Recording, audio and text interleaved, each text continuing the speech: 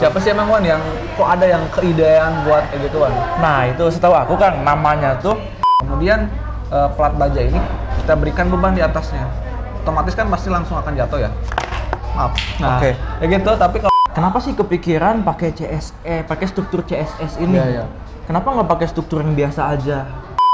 Halo Sobat Handal, balik lagi di konten ngolong Handal Studio. Hari ini aku dan Kang Afdal baru aja dari flyover Pelangi Antapani, Bandung. Nah, di mana flyover Antapani ini terletak di persimpangan antara Jalan Ibrahim Haji dan Jalan Terusan Jakarta. Betul. Ya. Kenapa sih disebut flyover An- Pelangi gitu? ya kenapa tuh? Kalau kita perhatikan ya di pinggir-pinggirnya itu ada ornamen terbuat dari keramik yang warna-warni sehingga seperti pelangi. Terus disusunnya abstrak lagi ya. disusunnya abstrak begitu kan. Siapa sih emang Wan yang kok ada yang keidean buat kayak gituan? Nah itu setahu aku kan namanya tuh John Martono. Kang. Oh, siapa tuh? Beliau itu orang FSRD ITB. ITB. Oh. Oke keren kan ya.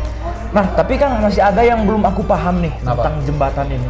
Apa tuh? Eh, flyover ini ya. Kalau kita lihat misalkan flyover yang kemarin aja Cimindi misalkan. Ya umumnya lah ya. ya. umumnya gitu kan. Biasanya terdiri dari abutment, ada pilarnya kan, ada girdernya kan. Ya. Nah, tapi kalau aku lihat tadi gitu itu beda banget gitu loh. Jangankan Pilar. pilar ya, ya jelas girder juga nggak ada gitu loh. Nah, Gimana? tapi jangan salah nih Wan. Hmm. Kalau misalkan buat informasi awal nih, jadi flyover Antapani Bandung ini ini merupakan pilot projectnya Pusjatan Wan. Pusjatan. Nah, jadi mereka menamainya sebagai CMP. CMP apa tuh Kang? CMP itu corrugated mortar Corrugated. busa T-nya Pusjatan. Tahu kan Pusjatan?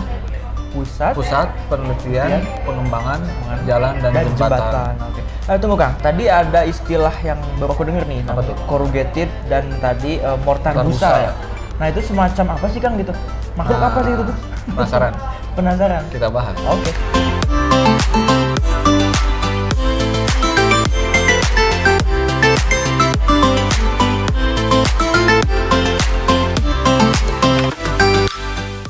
Wan, tadi kan kalau misalkan Irwan lihat di flyover Antapani itu, itu ada banyak banget hal yang menarik dari flyover itu. Tuh. Ada hal-hal yang kita nggak temukan di flyover lain.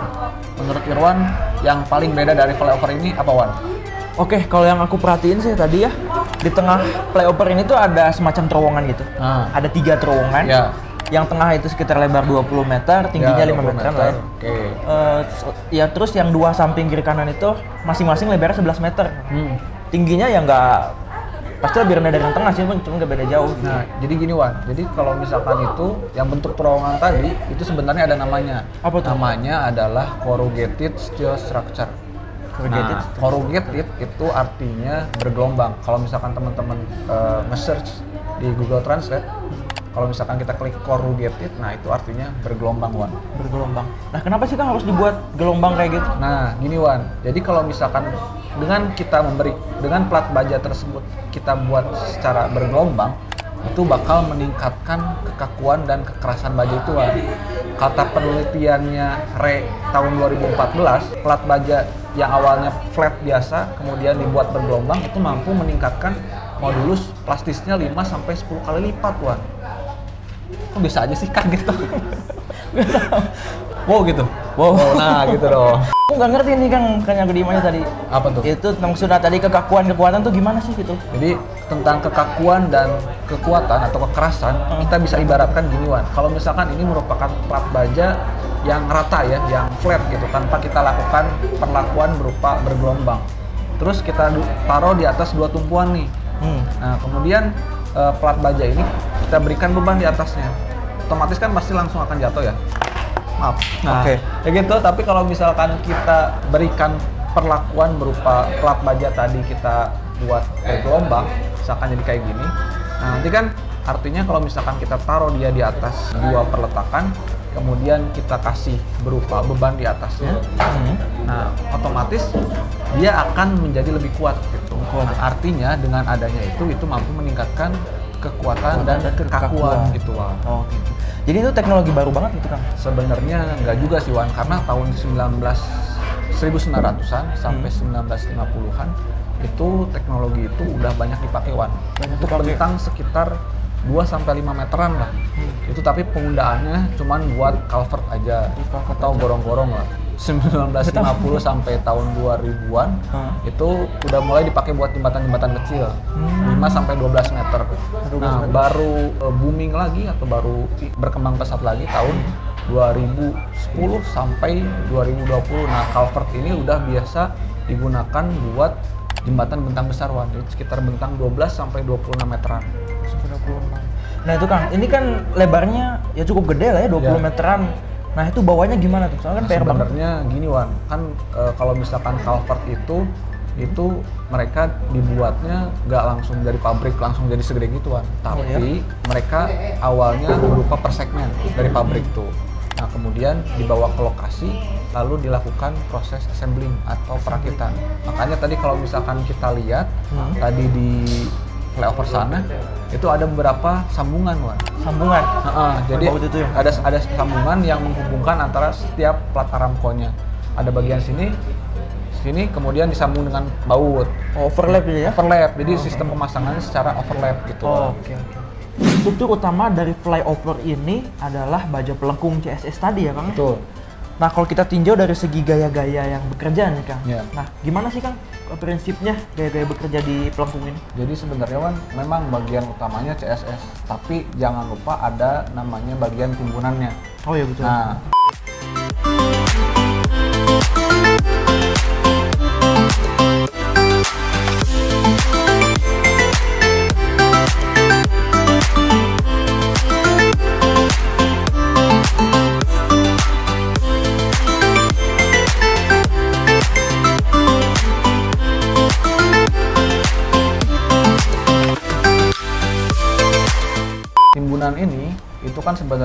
memberikan tekanan lateral bagi CSS ya.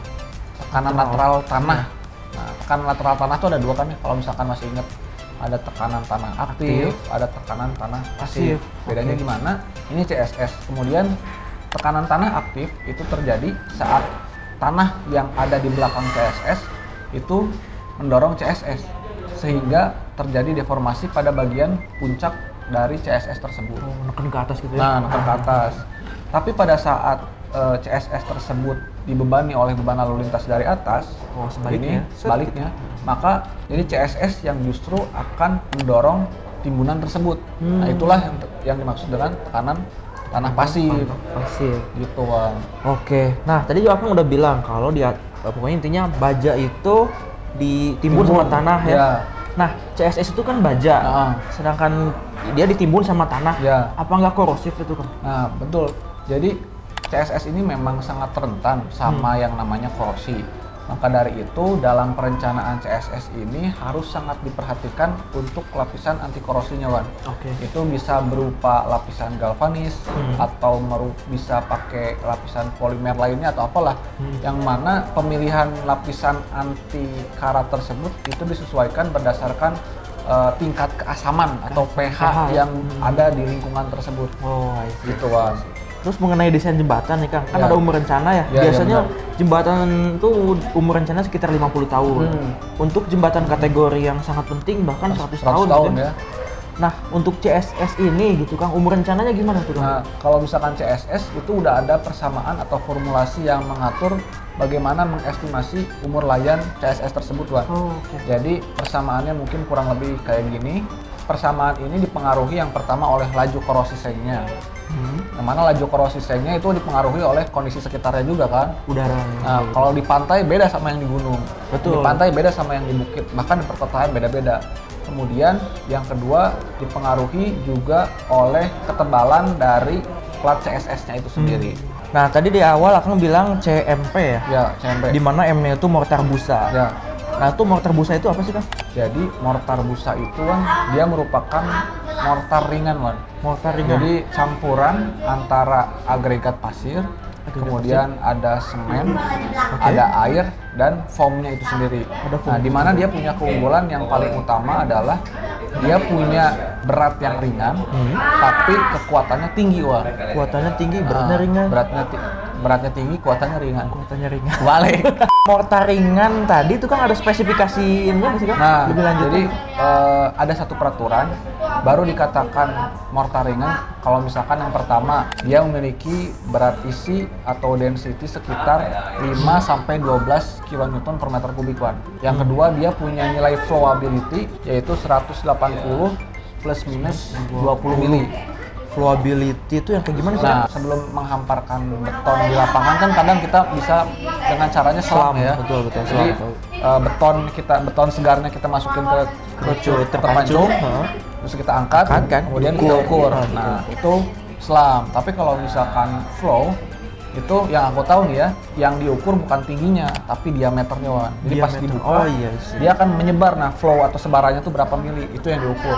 Oh, hmm. Itu parameter kedua. Parameter ketiga yaitu dari kemudahan dalam metode pelaksanaannya.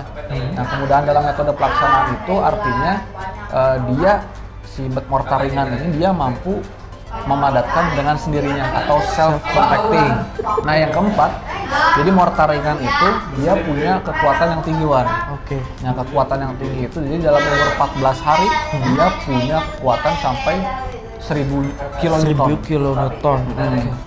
Nah, itu kan mor- mortar ringan itu aku baru dengar sebetulnya nih kan Nah. mortar ringan. Itu udah ada belum sih kan SN SN ini? Nah, walaupun ini hal-hal yang baru buat dunia konstruksi ya, tapi tentunya udah ada pedoman atau rujukan dalam merencanakan ini gitu kan. Mungkin mungkin bahannya bisa masukin eh, pedomannya di sini.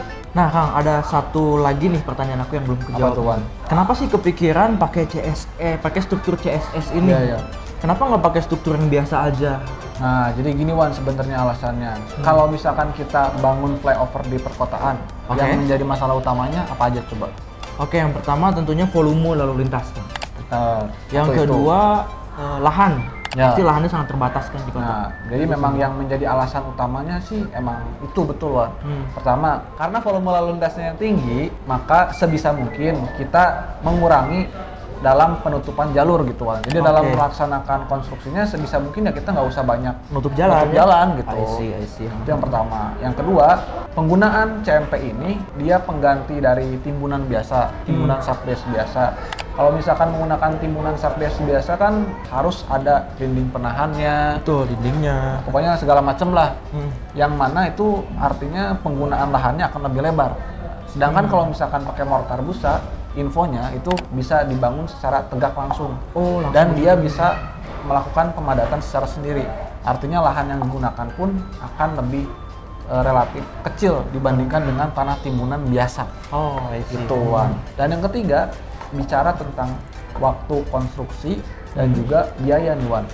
Kalau misalkan dengan konstruksi beton pada umumnya, itu membutuhkan biaya 120 M.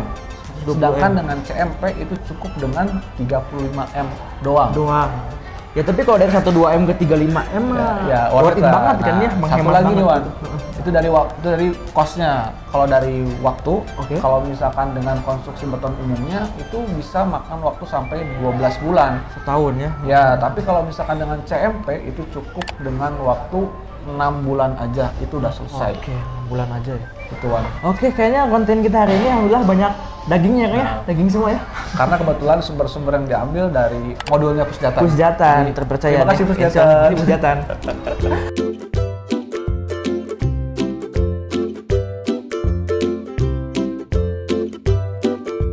Sekian konten kita hari ini tentang flyover Pelangi Antapani. Kalau sobat sandal suka sama video ini atau merasa kalau video ini sangat bermanfaat, silahkan like, komen, dan subscribe channel kita.